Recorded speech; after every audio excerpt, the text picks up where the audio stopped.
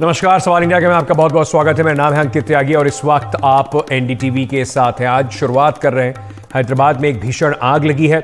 उस आग की खबर से आपको जरा रूबरू कराते हैं, अपडेट देते हैं। हैदराबाद में एक बड़ा हादसा हुआ है। नामपल्ली इलाके में एक अपार्टमेंट में भीषण आग लगी है, जिसमें से, जिसकी वजह से नौ लोगों की मौत हो गई है। हादसे में कई लोग गंभीर रूप से घायल भी हैं। पुलिस के मुताबिक अपार्टमेंट में ग्राउंड फ्लोर पर एक कार को रिपेयर किया जा रहा था। इसी दौरान आग लगी और उसके पास रखे केमिकल ड्रम तक पहुँच गई। इसके चलते आग ज़बरदस्त तरीके से भड़की और इस, ये जो आग है, तेज़ गति से ऊपर की पाँच मंजिलों को उसने अपनी चपेट में ले लिया और उसके बाद खबर ये आ रही है कि नौ लोगों की इसमें मौत हो गई है। तीन और लोग बुरी तरह से झुलसे हैं, जो घायल हैं इनका अस्पताल में इलाज चल रहा है।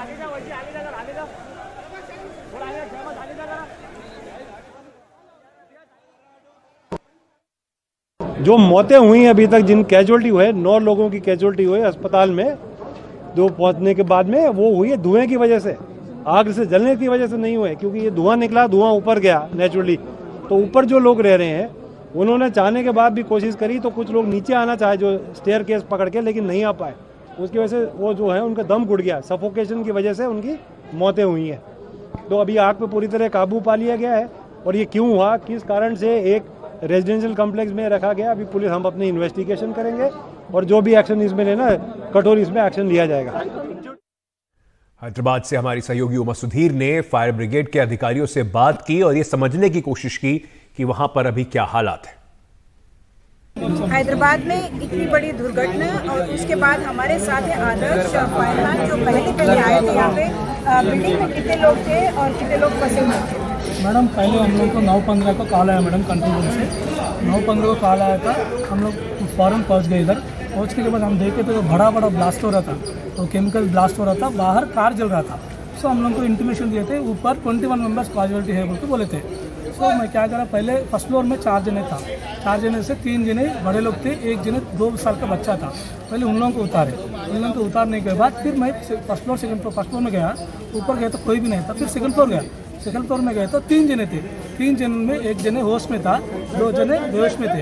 वो जने बचाओ बचाओ बोल रहे उसको थोड़ा भरना हुआ था। उसको पहले उठा के लेके आया नीचे लेके आके एंबुलेंस में ठहरा कर उसके बाद मैं जाके थर्ड फ्लोर फोर्थ फ्लोर में सर्च करा। ये दो लोगों का ऐसी बेहोश है ना उन लोगों को नहीं छुआ मैं। जाए तो तेरह जन घर पे रूम डाल के ता, ताला डाल के अंदर थे। उन लोगों को वही डोर लॉक करके हम लोग फायर डिपार्टमेंट बोल के बोले थे।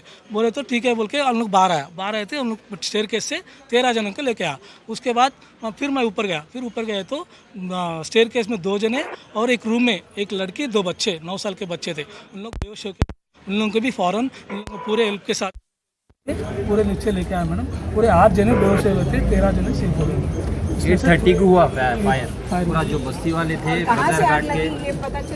नहीं नीचे में नीचे केमिकल था केमिकल एक्चुअली केमिकल में होता गलती में कुछ शॉर्ट सर्किट होते उधर गिरा के पूरा केमिकल पूरा रोड पे बाहर होती फ्लो होता फ्लो होती फ्लो भी उसमें फ्लो भी फायर हुआ था। इसलिए हम लोग गोडाउन में क्या व्हीकल्स के बाहर तो बहुत सारे व्हीकल्स जले हुए दिख रहे थे। हाँ बाइक से मैडम पूरा बाइक से अंदर पूरा बाइक एक दस बाइक का था एक पचास दिन का केमिकल था और वैक्सीन भी था मटेरियल भी था मैडम। मटेरियल इसलिए सो इनका यही कहना है कि केमिकल्स uh, की वजह से ये आग लगी और uh, लोगों को बचाने में कामयाब रहे लेकिन नौ लोगों की मौत इस हादसे में हो गई। हैदराबाद से कैमरा पर्सन नागराजू के साथ उमा सुधी इंडिया के लिए। वहीं कर्नाटक के उडुपी में कई यहाँ पर भीषण आग कई इलाकों से सामने आई है। दीपावली पूजा के दौरान मछली पकड़ने वाली सात नावों में आग लग गई है। ये हादसा जो हुआ है वो पोर्ट ऑफ़ गुमाली जो एरिया है, वहाँ पर हुआ है। या बताया जा रहा है कि यहाँ पर पटाखों की वजह से इन नाव में आग लगी है। तो ये आप देख रहे हैं तस्वीरें। नौ, सात नाव हैं जिनमें आग लगी है और जिसके कारण कम से कम कोई हताहत नहीं हुआ है, कुछ लोग ज़ख्मी ज़रूर हुए हैं और उसी को देखते हुए ये तस्वीरें जो हैं, काफ़ी भयावह तस्वीरें ज़रूर नज़र आ रही हैं। हमारे सहयोगी निहाल इस वक्त हमारे साथ जुड़ रहे हैं। निहाल ये किस तरीके से हादसा हुआ और अभी क्या स्थिति है यहाँ पर?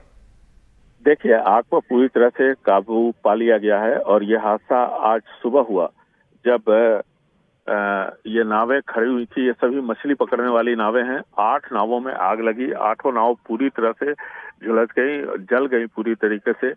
और दक्षिण में आज एक बड़ी पूजा होती है दीपावली के मौके पर, और ये पूजा का ही मौका था। तो ऐसा माना जा रहा है कि जो नावें वहाँ खड़ी थी, उनमें बहुत सारे पटाखे थे, क्योंकि शाम में पटाखे चलाने का भी प्रचलन है यहाँ पे पूजा के बाद।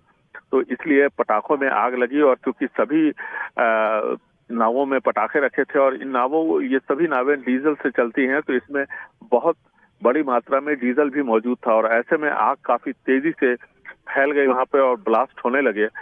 तो फ़ौरन कुंदापुर पास में ही है। वहाँ से फायर ब्रिगेड के अधिकारी और गाड़ियाँ वहाँ पर पहुँची और उन्होंने तकरीबन दो से ढाई घंटे लगे जब उन्होंने इस पर काबू पाया। लेकिन इसमें किसी के भी हताहत होने की या फिर जलने की कोई खबर नहीं है। तो वहाँ पर आठ नावें जल गई। साथ ही साथ दो बाइक जो मछुआरों की थी वो भी जल गई। कुल मिलाकर के ऐसा माना जा रहा है एक अनुमान के मुताबिक कि तकरीबन आठ से दस करोड़ रुपए का नुक, आर्थिक नुकसान हुआ है इन मछुआरों को लेकिन आग की जो असली वजह है उस पर आधिकारिक तौर पर अभी कोई बयान नहीं आया है। बहुत बहुत शुक्रिया निहाल हमारे साथ जुड़ने के लिए। चलिए आगे बढ़ते हैं और बात करते हैं एक खतरनाक ट्रेंड की।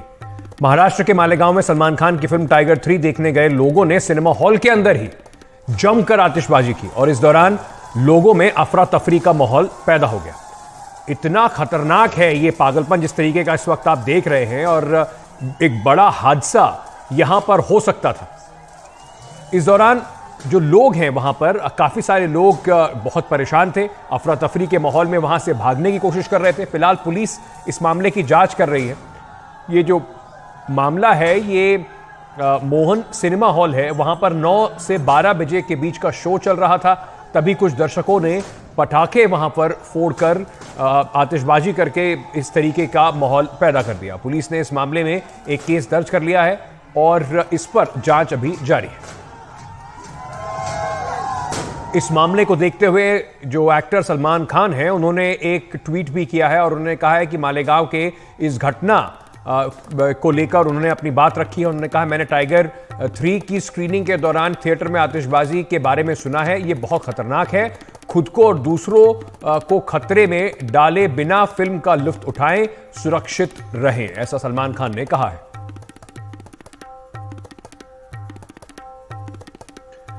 मेरे सहयोगी प्रशांत इस वजह इस वक्त हमारे साथ जुड़ रहे हैं, उनके पास ये चलते हैं। प्रशांत टाइगर थ्री सलमान खान का जो एक बड़ा फ़ैन क्लब है, ये तो उम्मीद लगाई जा रही थी कि लोग अलग अलग तरीके से इस पर अपना उत्साह ज़ाहिर करेंगे, लेकिन ये एक बहुत खतरनाक मतलब भगवान का शुक्र है कि कोई हादसा नहीं हुआ यहाँ पे बड़ा।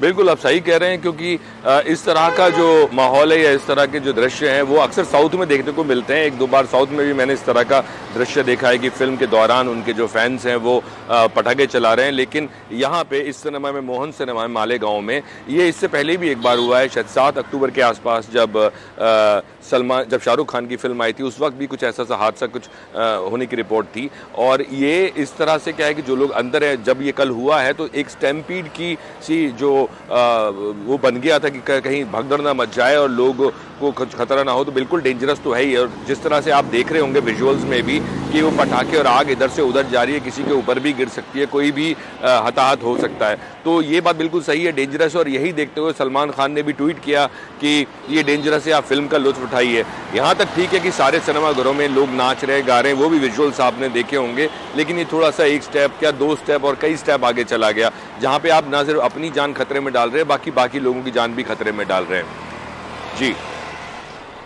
मैं आपसे ये भी जानना चाहूँगा कि किस तरीके का अभी जो फ़िल्म है उसको लेकर कैसा रिस्पांस दर्शकों का सामने आ रहा है? इस फ़िल्म को लेकर काफ़ी बड़ी तैयारियाँ भी थी। उम्मीद भी लोगों को बड़ी थी कि ये टाइगर थ्री फ़िल्म एक बार ज़बरदस्त रिकॉर्ड प्रदर्शन करेगी। देखिए हिंदी सिनेमा में ये एक कहीं एक तो एक इस तरह का भ्रम था कि दिवाली के दिन जो है वो फ़िल्में रिलीज़ नहीं होती थी, क्योंकि दिवाली के दिन पूजा के चलते और दिवाली के दिन जितने भी लोग हैं, वो बिज़ी रहते हैं गिफ्ट्स देने में इधर उधर तो इसलिए दिवाली पे फ़िल्में जो हैं वो अच्छा नहीं करती थी और जो आंकड़े हैं मेरे पास, उसके हिसाब से करीब आठ से दस करोड़ तक ही फ़िल्म कमाती थी। तो ये एक बहुत बड़ा लोगों के बीच में फ़िल्म जगत में एक ये था कि क्यों यशराज फिल्म्स ने ये फ़िल्म दिवाली के दिन रिलीज़ की है, लेकिन यशराज फिल्म्स को पूरा का पूरा भरोसा था सलमान खान की स्टार्डम पे। और अब आप आंकड़े देख लीजिए कि सलमान खान की जो फ़िल्म है, इसने करीब करीब, पूरे देश में अगर बात करें तो चवालीस करोड़ नेट नेट का मतलब मैं बोलता हूँ कि जहाँ पे एंटरटेनमेंट टैक्स को हम माइनस कर दें और उस चवालीस दशमलव पचास करोड़ इसने देश में कमाया है और चौरानवे करोड़ इसने दुनिया भर में कमाया है। हालाँकि ये जवान और पठान से कम है, लेकिन बड़ी बात यह है कि विदेश में कमाई करने का पहले दिन का ये रिकॉर्ड एक सलमान खान ने तोड़ा है कि ये जो फोर्टी वन पॉइंट फिफ्टी इकतालीस दशमलव पचास करोड़ का जो मैं आपको आंकड़ा बता रहा हूँ, ये जवान से भी ऊपर है। विदेश में जो कि जवान ने, विदेश में उनतालीस दशमलव पचास करोड़ कमाया था। तो ये उस तरह से विदेश की बात करें तो वहाँ पे रिकॉर्ड तोड़ा है। सलमान खान के लिए खुद ये रिकॉर्ड है क्योंकि सलमान खान की ये पहली ऐसी फ़िल्म है जिसका जो कलेक्शन है डे वन पे, वो चवालीस दशमलव पचास करोड़ करोड़ है। इससे पहले जो जितनी भी फ़िल्म उनकी रिलीज़ हुई हैं ओपनिंग डे पे, ओपनिंग डे का कलेक्शन इतना किसी का नहीं था। तो ये दो उन्होंने रिकॉर्ड इस पर बना लिए, लेकिन लोगों को उम्मीद है कि आने वाले टाइम में अभी छुट्टियाँ भी हैं तो फ़िल्म और आज का माना जा रहा है कि आज का जो कलेक्शन है, वो और ज़्यादा होगा। तो इस तरह के आंकड़े हैं और 94 करोड़ अच्छा एक आंकड़ा है अच्छा नंबर है फ़िल्म के लिए। जी। बहुत बहुत शुक्रिया प्रशांत हमारे साथ जुड़ने के लिए, जानकारी हमारे दर्शकों को देने के लिए। आगे बढ़ते हैं और बात करते हैं पश्चिम बंगाल की, जहाँ पर 24 दक्षिण 24 परगना जो डिस्ट्रिक्ट है, वहाँ पर तृणमूल कांग्रेस के एक नेता की हत्या के बाद हालात तनावपूर्ण बने हुए हैं। टीएमसी नेता सफीद्दीन की हत्या के बाद उनके समर्थकों ने एक शख्स को पकड़कर, पकड़ लिया और उसको भीड़ ने पीट पीट कर मार डाला। इस दौरान कई घरों में आग भी लगा दी गई। टीएमसी नेता ने इस हत्या के पीछे सीपीएम का हाथ होने का आरोप लगाया है।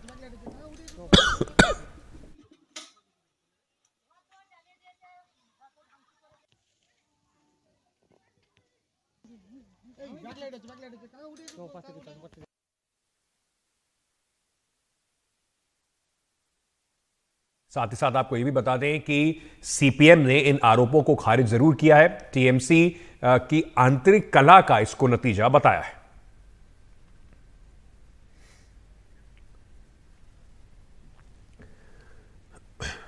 हमारे साथ हमारे सहयोगी सौरभ गुप्ता इस वक्त जुड़ रहे हैं। सौरभ एक बार फिर से जो इस तरीके की राजनीतिक हिंसा है, जिसमें एक नेता को निशाना बनाया गया और उसके बाद हिंसा और भड़की है ये कानून व्यवस्था जो है, उस पर भी सवालिया निशान लगाता है और साथ ही साथ पश्चिम बंगाल में जो राजनीतिक हिंसा है, उसका जो क्रम है, वो टूटता नज़र नहीं आ रहा है। देखिए इस बार जो घटना हुआ है, इसमें आज सुबह एक तृणमूल कांग्रेस के नेता, जो लोकल नेता है, उनके ऊपर गोली चलाया गया और उनका मृत्यु हुआ। उसके बाद एक हिंसक मॉब कुछ लोगों के घर जला दी और एक उन, जिसके ऊपर उस मॉब का शक था कि इस हिंसा में वो शामिल है, उसको भी लिंच कर दिया गया इस मॉब द्वारा। और इसके बाद यहाँ पे पुलिस पहुँची। पुलिस आने से पहले कई सारे घर जला दिया गया और कुछ लोगों ने ये आरोप भी लगाया है कि जब वहाँ पे फायर इंजन जा रहे थे, तब फायर इंजन को भी रोका गया। और यहाँ पे अब पुलिस का कहना है कि अभी स्थिति काबू में है और एक आरोपी को उन्होंने हिरासत में लिए हैं जो इस तृणमूल नेता के खून के मामले में उनके लिए एक सस्पेक्ट है। और दूसरी बात यह है कि जो सवाल आपने पूछा, पश्चिम बंगाल में राजनीतिक हिंसा होता रहा है जैसे कि आपने कहा तृणमूल का कहना है कि राजनीतिक हिंसा का शिकार ज़्यादातर वो खुद बने हैं और आज भी उनका कहना है कि वो राजनीतिक हिंसा का शिकार बने हैं।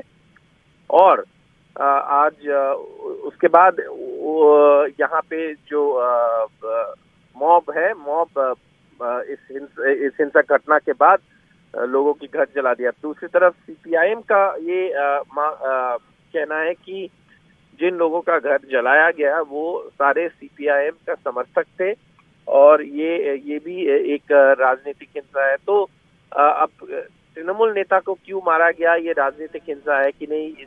ये तो जाँच में पता चलेगा। लेकिन उसके बाद जो हुआ उसको लेकर सीपीआईएम ने ये आरोप उठाया है कि वो राजनीतिक हिंसा ज़रूर है और ठीक है। अभी पुलिस वहाँ पे तैनात है और स्थिति काबू में लाया गया है ऐसा पुलिस का कहना है। शुक्रिया सौरभ हमारे साथ जुड़ने के लिए एक छोटा सा ब्रेक इस वक्त ले रहे हैं और वापस आके खबरों का सिलसिला एनडीटीवी इंडिया पर जारी है। बने रहिए हमारे साथ।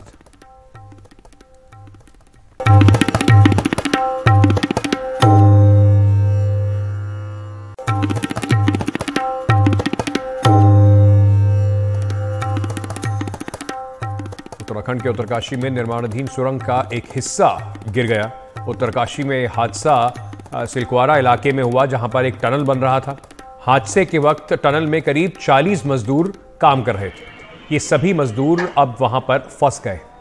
इन्हें, इनमें से झारखंड के 15 मजदूर हैं, उत्तर प्रदेश के आठ, उड़ीसा के पाँच, बिहार के चार, पश्चिम बंगाल के तीन, उत्तराखंड और असम के दो दो मजदूर। यहाँ पर हिमाचल का भी एक मजदूर फंसा हुआ है।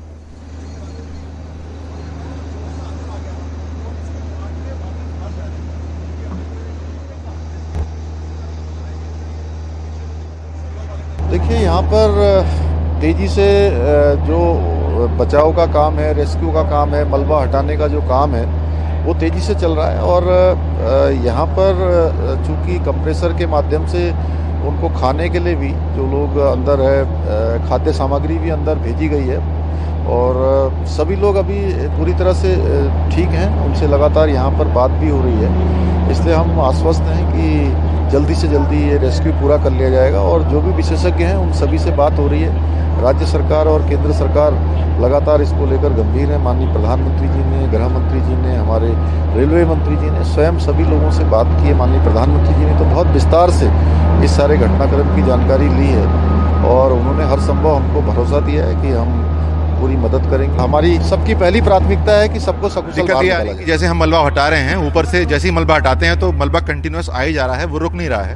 तो हम कोशिशें कर रहे हैं जो मलबा ऊपर से गिर रहा है वी हैव सम मशीन्स तो हम उसको सॉलिडिफाई कर देते हैं। थोड़ा जो रुकता है तो आगे बढ़ जाते हैं। तो इसलिए स्पीड थोड़ा स्लो है लेकिन हमें वी आर होपफुल दैट हम कर लेंगे इसको। सर कितना अभी तक हम कर पाए हम इसमें से हमें लगभग ऐसा अप्रॉक्सीमेट है कि 60 मीटर्स का पैच था जिसमें से हमने 15-20 मीटर इवैक्यूएट कर लिया एनडीआरएफ के असिस्टेंट कमांडर ने थोड़ी देर पहले रेस्क्यू ऑपरेशन के बारे में पूरी जानकारी दी, वो भी आपको सुनाते हैं। कल से जो काम हुआ है, वो अभी 10 से 15 मीटर और खुदाई हो चुकी है। अभी जो हमें खबर मिली है कि अंदर सारे के सारे जो हैं सुरक्षित हैं। उनको हमने जो है खाने के कुछ चिप्स और पानी की व्यवस्था उनको दे दी गई है और सब सुरक्षित हैं। हमें उम्मीद करते हैं कि आज हम प्रयास करके उनको बाहर निकलने की पूरी कोशिश करेंगे। सिलकेला की टनल में रेस्क्यू ऑपरेशन लगातार चल रहा है। 24 घंटे से ज़्यादा हो चुके हैं 40 मजदूर अंदर फंसे हैं। लेकिन उन तक ऐसी एक मशीन है, कंप्रेसर मशीन है, जिससे ऑक्सीजन भेजा जा रहा है। और ये जो पाइप है लाइफ लाइन अगर कहेंगे, इसी तरह का जो पाइपलाइन है उससे ऑक्सीजन भेजा जा रहा है। और एक और चीज़ दिखाना चाहता हूँ, जो अंदर फंसे 40 मजदूरों के लिए जो एक लाइफ लाइन है वो एक ये पाइप है। एक चार इंच का पाइपलाइन है एक ही है। एक से ऑक्सीजन भेजा जा रहा है और एक से फ़ूड भेजा जा रहा है। इन पाइप को और कामों के लिए यूज़ किया गया था लेकिन सबसे अच्छी बात ये है कि ये अब लाइफ लाइन है ये पूरी पाइपलाइन अंदर तक है। जहाँ पर अंदर जहाँ पर मलबा गिरा है यानी यहाँ से वहाँ से ही एक कंप्रेशर मशीन ऐसे ही लगाई गई है और इसी तरीके से पाइप गया है हमारे साथ यहीं पे जो टनल के आपका नाम क्या है पहले? निगमानंद धड़ है अच्छा एक चीज़ बताइए कि ये जो पानी की पाइपलाइन है इससे क्या क्या भेजा जा रहा है और कि, ये कितनी एक पाइपलाइन में हम लोग ऑक्सीजन भेज रहा है और एक पाइपलाइन में फ़ूड भेज रहा है ड्राई फ़ूड जैसा भेज रहा है। और और जो कंप्रेसर लगा हुआ जो कंप्रेसर माध्यम से ऑक्सीजन अंदर जा रहा है। वो लोग अभी कॉन्ट्रैक्ट हुआ था they are in good position अभी तक क्या क्या भेजा है? अभी जितना ड्राई फ़ूड है ऑक्सीजन कंटिन्यूसली चल रहा है कल से। ड्राई फ्रूट कल इवनिंग तक से चालू है ड्राई फ्रूट जितना है ना हम लोग भेज रहे हैं। अच्छा इस पाइपलाइन को किस लिए यूज़ किया जाता था? पाइपलाइन हम लोग यूज़ कर रहे हैं पहले अंदर से कनेक्शन कनेक्टिविटी था होमवर्क के लिए अंदर का काम एक्टिविटीज़ के लिए पहले कनेक्शन था। अभी इसको बंद करके मेन हमारा जो सेफ्टी का काम के लिए इसको यूज़ कर रहे हैं। अब ये लाइव अगर हम ये बोले कि ये लाइफ लाइन है उन 40 लोगों के। प्रेजेंटली लाइफ लाइन है। इस लाइफ लाइन हाँ प्रेजेंटली एक में ऑक्सीजन और एक में फ़ूड हाँ फ़ूड है। तो ये जो पाइपलाइन है, ये एक तरह से एक लाइफ लाइन है, ये पाइपलाइन उन 40 लोगों के लिए जिसमें उनको ऑक्सीजन और फ़ूड भेजा जा रहा है, जिसमें अलग ड्राई फ्रूट्स है, मूंगफली है, इसके अलावा बहुत सारी ऐसी चीज़ें हैं। तो लगभग इस तरीके से ही जो एक अंदर मशीनें लगाकर 40 मजदूरों को फ़िलहाल बचाने का काम चल रहा है, रेस्क्यू ऑपरेशन अलग चल रहा है और उनके लिए फ़ूड और ऑक्सीजन भी सप्लाई की जा रही है। सिलग्यारा से एनडीटीवी इंडिया के लिए किशोर रावत। हमारे साथ N H I D S L के डायरेक्टर और सी एफ़ ओ अंशु जी मौजूद है। सर, मैं एक चीज़ जानना चाहता हूँ कि ये कितना टफ है और किस तरीके से आप इसको देख रेख कर रहे हैं पूरा? सबसे बड़ा चैलेंज इसमें हमें ये मिल रहा है कि हम जितना उसको एक्सक्यूवेट करते हैं, जितना बाहर निकालते हैं, मलबा उतना ही गिर जाता है। लेकिन कल रात से हमें ये समझ में आ गया है कि करीब 60 मीटर का जो दूरी है, उसके अंदर में ये मलबा जमा हुआ है और उसके आगे करीब दो किलोमीटर के अंदर तक हमारे साथी वहाँ पर हैं। लेकिन सारे सुरक्षित हैं, ये भी कल हम रात को जान सकें, क्योंकि दो पाइप गई हैं। एक पाइप से हम उनको खाना प्रोवाइड कर रहे हैं और दूसरे से ऑक्सीजन। और उसी पाइप से, क्योंकि बीच बीच में वॉकी टॉकी उतना क्लियर नहीं होता है तो हम क्या करते हैं कि उस पाइप से हम बात करते हैं और उस पाइप से ये हमको जानकारी मिली कि 40 के 40 सुरक्षित। अच्छा सर, एक चीज़ जानना चाह रहा था, ये टनल, ये वाली टनल साढ़े चार सौ किलोमीटर साढ़े चार किलोमीटर की है। इस टनल में ये कहाँ पे फंसे और कितना मलबा है ये थोड़ा बताएँगे? ये करीब 203 मीटर जो है वहाँ पर जाके ये चालू हुआ है और करीब 255 मीटर पे जाके मलबा ख़त्म हुआ है। तो 203 से दो तिरपन किलोमीटर के आसपास मीटर पे जाके हुए। अच्छा ये 2350 के बता रहे टनल है। उसके बाद जो पैच है उसमें जितने भी ये लोग हैं सुरक्षित है रहे हाँ ये सारे सुरक्षित हैं। अब किस तरीके से आगे ये कार्रवाई की? इसमें हम दो तीन चीज़ें कर रहे हैं। पहले तो मलबा हटा के जाने की कोशिश कर रहे हैं। दूसरा, हम क्या कर रहे हैं, एक एस्केप टनल होता है, वो बनाने की कोशिश कर रहे हैं, जिससे कि एक एक आदमी को निकाला जा सकते उसके लिए हम पाइप ला रहे हैं स्टील की पाइप्स, जिसको हम पुश करके वहाँ पे डालेंगे और मलबा निकालते जाएँगे।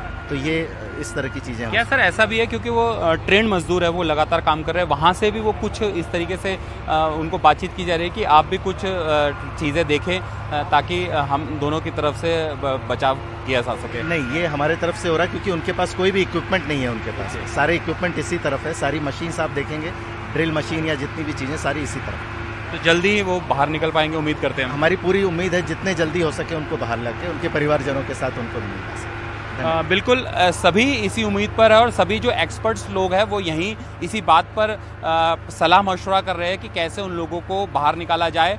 अब एक जो नई चीज़ आई है उसमें स्टील के पाइप डाले जाएँगे और उनके द्वारा एक एक आदमी को बाहर रेस्क्यू किया जाएगा।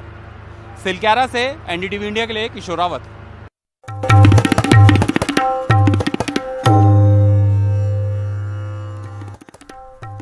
सुप्रीम कोर्ट के आदेश के बाद भी दिल्ली के कई इलाकों में जमकर पटाखेबाजी हुई।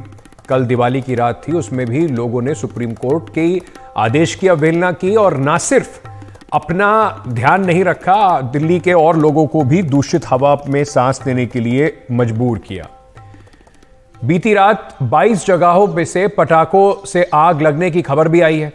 हालाँकि बीते सालों के मुकाबले आतिशबाजी थोड़ी कम ज़रूर बताई जा रही है। कम आतिशबाजी की वजह से दिल्ली की जो आबो हवा है, वो अब इसको आप गनीमत के तौर पर सोच सकते हैं कि और भी बुरा हो सकता था।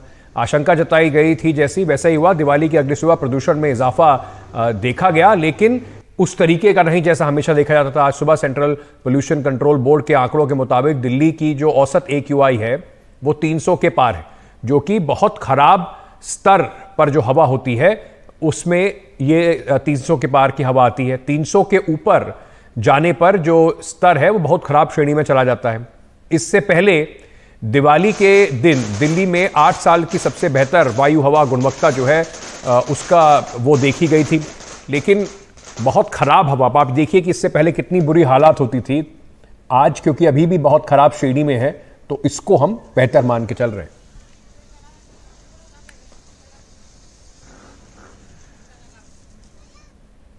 पिछले छः सालों में ये सबसे कम प्रदूषित दिवाली रही। हालाँकि कल भी जमकर पटाखे जलाए गए। बीते कई सालों से दिवाली में जो दिल्ली एनसीआर का प्रदूषण का स्तर है, वो बहुत खराब श्रेणी में रहता था। इस बार खराब श्रेणी, यानी कि 300 के पास पास रहा है। यानी कि जो ए है, सुबह करीब 330 दर्ज की गई। कल सुबह ये 220 के करीब थी तो उसमें 100 का इजाफा हुआ है पटाखे जलाने के बाद। इस पर विस्तृत जानकारी हमारे सहयोगी परिमल दे रहे हैं। पिछले सात सालों में दिवाली की अगली सुबह सबसे बेहतर एयर क्वालिटी इंडेक्स रहा है, जिसको हम एक्यूआई कहते हैं। और आंकड़ों पे अगर ध्यान दें तो 2018 से हमारे पास आंकड़े हैं और C A commission for air quality management ने माना है कि पिछले सात सालों में दिवाली की अगली सुबह इस साल 2023 में सबसे बेहतर है एयर क्वालिटी इंडेक्स के मामले में। लेकिन अब भी पुअर या वेरी पुअर की कैटेगरी में हवा की जो गुणवत्ता है, जो श्रेणी है, वो अभी बनी हुई है। यानी अभी की हवा भी बहुत अच्छी नहीं है लेकिन अगर तुलनात्मक अध्ययन करें पुराने सालों से 2018 से तो ये ज़रूर है कि हवा की गुणवत्ता पुराने 2018 में जो दर्ज किया गया था 2019, 2020, 2021, 2022 अब 2023 में वो कम से कम पुराने समय से बेहतर ज़रूर है और आंकड़ों पर अगर ध्यान दें तो आपको बताएँ कि 2018 में दिवाली की अगली सुबह एयर क्वालिटी इंडेक्स 390 था 2019 में ये तीन सौ अड़सठ दर्ज किया गया 2020 में 435 दर्ज किया गया। 2021 में चार सौ बासठ दर्ज किया गया। 2022 में 303 और 2023 में 300 ये एयर क्वालिटी इंडेक्स है। और सिर्फ़ इन्हीं आंकड़ों पे नहीं, अगर दिवाली से एक दिन पहले और दिवाली के दिन के आंकड़ों की भी अगर बात करें तो 2018 में दिवाली के एक दिन पहले तीन एक एयर क्वालिटी इंडेक्स था, जो दिवाली के दिन दो सौ इक्यासी हो गया। 2019 में दिवाली के एक दिन पहले दो सौ सत्तासी एयर क्वालिटी इंडेक्स था, जो दिवाली के दिन तीन सौ सैंतीस दर्ज किया गया था। 2020 में दिवाली से एक दिन पहले तीन एयर क्वालिटी इंडेक्स था, जो दिवाली के दिन 414 दर्ज किया गया था। 2021 की बात करें तो 314 दिवाली के एक दिन पहले दिवाली वाले दिन तीन दर्ज किया गया। 2022 में दिवाली के एक दिन पहले दो सौ उनसठ एयर क्वालिटी इंडेक्स था, दिवाली वाले दिन 312 दर्ज किया गया। 2023 में, दिवाली के एक दिन पहले, यानी इस साल 220 एयर क्वालिटी इंडेक्स था, जो दिवाली के दिन 218 दर्ज किया गया और दिवाली की अगली सुबह 300 एयर क्वालिटी इंडेक्स पहुँच गया। ये तमाम आंकड़े हैं जो इस तरफ़ इशारा कर रहे हैं कि दिवाली के दिन अचानक किस तरीके से क्रैकर्स के इस्तेमाल से हवा की गुणवत्ता खराब हो जाती है, और वो इस साल भी यही हुआ है। जो दिवाली के दिन एयर क्वालिटी इंडेक्स था, यानी कल, वो 218 दर्ज किया गया था, लेकिन अचानक सुबह होते होते ये 300 तक पहुँच गया। यानी करीब 70-80 पॉइंट का जो इजाफा हुआ है, उसमें अहम योगदान क्रैकर्स का है। बावजूद पाबंदी के क्रैकर्स जो पटाखे हैं, वो जलते रहे और हवा की गुणवत्ता खराब होती रही। और दिवाली के अगली सुबह ये ज़रूर इस बात को लेकर आंकड़े इस तरफ़ इशारे कर रहे हैं कि हम पिछले सात सालों में बेहतर हैं आज दिवाली की अगली सुबह। लेकिन अभी भी हवा की गुणवत्ता अच्छी नहीं है। हवा की गुणवत्ता ज़ीरो से पचास बहुत अच्छी मानी जाती है सेटिस्फैक्ट्री पचास से एक सौ मानी जाती है। लेकिन अब भी हम तीन सौ के आसपास हैं। तो ये गुणवत्ता खराब ज़रूरी हुई है ज़रूर हुई है। इसमें बहुत सारा योगदान होता है बहुत सारा फैक्टर होता है लेकिन दिवाली के अगले दिन हम इसलिए बात कर रहे होते हैं क्योंकि क्रैकर्स का एक अहम योगदान हो जाता है। बायोमास बर्निंग तो होता ही रहता है वेहिकुलर पॉल्यूशन भी होता रहता है बाकी कंस्ट्रक्शन डेमोलेशन एक्टिविटी से पॉल्यूशन के कारक में आ, या पॉल्यूशन के आ, में इजाफा होता है एयर क्वालिटी इंडेक्स में। लेकिन दिवाली की अगली सुबह क्रैकर्स जो मुसीबत बढ़ाती है, उस तरफ़ इशारा इस बार भी है, क्योंकि क्रैकर्स ने मुसीबत बढ़ाई है और करीब सत्तर पॉइंट का इजाफा दिवाली के दिन जो एयर क्वालिटी इंडेक्स था, उससे अगली सुबह यानी आज करीब सत्तर पॉइंट का इजाफा हुआ है, जिसमें अहम योगदान क्रैकर्स का है। और ये हवा जितनी खराब होती है, उतनी ज़्यादा आपको बीमार करती है, यानी अभी भी दिल्ली की हवा जहरीली है। नई दिल्ली से परिमल कुमार एनडीटीवी इंडिया इस वक्त हमारे साथ commission for air quality management के मेंबर सेक्रेटरी अरविंद नौटियाल हैं। सर दिवाली के दिन और दिवाली के अगली सुबह किस तरह की एयर क्वालिटी इंडेक्स रही? ये साल थोड़ा सा फॉर्चुनेटली दिवाली से पहले जो एक मेट्रोलॉजिकल एंड क्लाइमेटिक कंडीशंस काफ़ी फेवरेबल रहे जिनके चलते दिवाली के पहले 220 के आसपास एक औसत ए रिकॉर्ड किया गया था दिवाली के पहले दिन। हम्म। और वो इफ़ेक्ट हमको दिवाली पे भी देखने को मिला। और ये एक रिकॉर्ड्स के अगर हम माध्यम से देखें तो बेस्ट दिवाली डे अगर रहा है तो वो 2023 का रहा है जिस दिन ए क्यू आई दो के पे दर्ज हुआ। हम्म। उसके पहले भी करीब करीब उसी स्तर पे था। ए क्यू आई कल भी 220 पे दर्ज हुआ।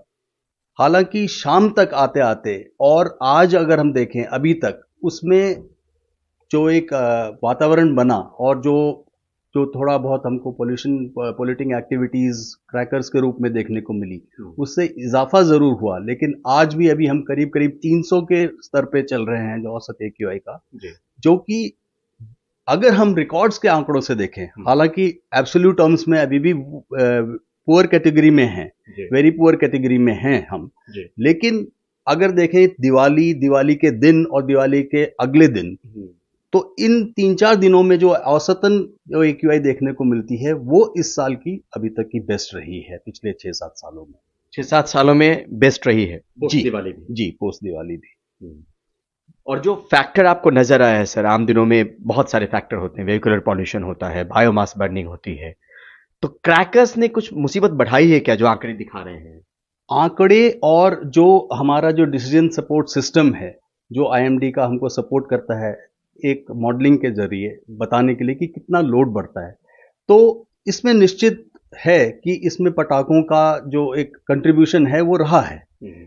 क्योंकि ये जो 60-70 पॉइंट का जो स्पाइक देखने को मिला है मूलतः पटाखों का ही है। हम्म, शाम के वक्त से। शाम के वक्त से। और एकदम से ये कंसंट्रेशन बढ़ा है वो शाम के समय से बढ़ा है।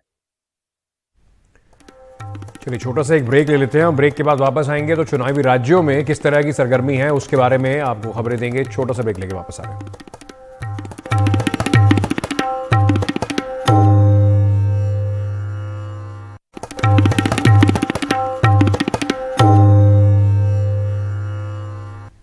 दिवाली के अगले दिन ही एक बार फिर से चुनाव मैदान में दिग्गज नेता जो हैं वो उतर गए हैं और दोनों पार्टी, कांग्रेस और बीजेपी पूरी ताकत इस वक्त झोंकती नज़र आ रही है। प्रधानमंत्री नरेंद्र मोदी आज छत्तीसगढ़ और मध्य प्रदेश के चुनावी दौरे पर हैं।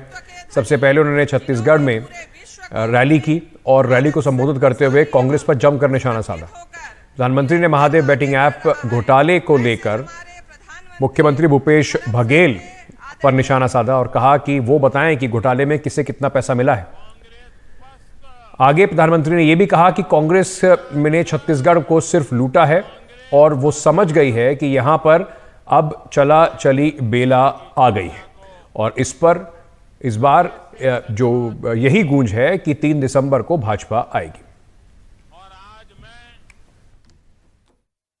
जब छत्तीसगढ़ में कांग्रेस की सरकार बनी थी, तब मुख्यमंत्री के पद के लिए ढाई ढाई साल का एग्रीमेंट हुआ था।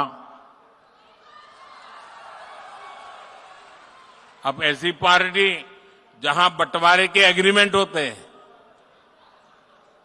लेकिन पहले ढाई साल में ही मुख्यमंत्री जी ने इतना लूटा इतना लूटा इतना लूटा, ढाई साल में इतना भ्रष्टाचार किया, लूट के पैसों का अंबार जमा कर लिया, और जब ढाई साल पूरा होने पर आए तो तिजोरी दिल्ली वालों के लिए खोल दी, खजाना खोल दिया, हर एक को खरीद लिया।